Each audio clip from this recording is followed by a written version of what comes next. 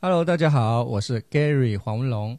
今天呢，为大家介绍阿道夫的吹嘴的最新产品——新木水火土里面的木星。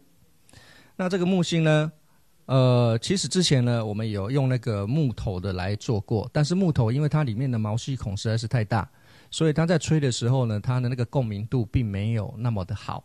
好，所以呢，我们那时候选了很多的材料，所以选到了这个用电木的方式。那电木的方式，它里面的毛细孔就比较小，所以吹起来的共鸣度就会比较好。那这一颗呢，电木的这颗我们的木星的这个吹嘴呢，上面有一个我们的一个莲花的标志，底下会有阿道夫 ADF 的字样。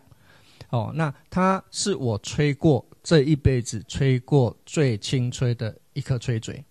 但是呢，它的音色当然不能跟我们的土星啊、哦那个金星啊、水星啊，或者是我们的火星来相比。不过呢，它是一颗非常好入门的一个吹嘴。就是说，你原本呢，你呃，你买乐器来，然后你送的那个胶嘴，那个四吸的胶嘴，那你胶嘴要转换到那个金属吹嘴的时候，中间会有障碍。那这一颗呢，整个的形状其实跟金属吹嘴做的。Size 是一模一样的，所以呢，它就是非常轻松好吹。当然，它的音色呢没有那么的亮，不过呢，它是一个你想要入门到金属吹嘴里面中间的一个桥梁。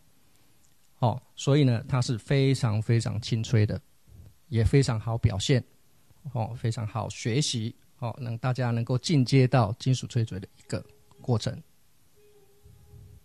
接下来呢，我为大家来示范我们的这个。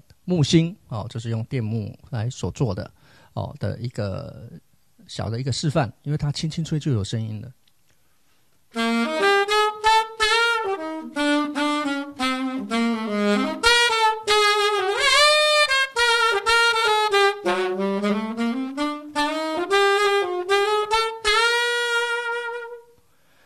它轻轻吹就有声音的，所以你并不需要花费很大的力气来去吹它。所以它是一个非常非常好控制的吹嘴。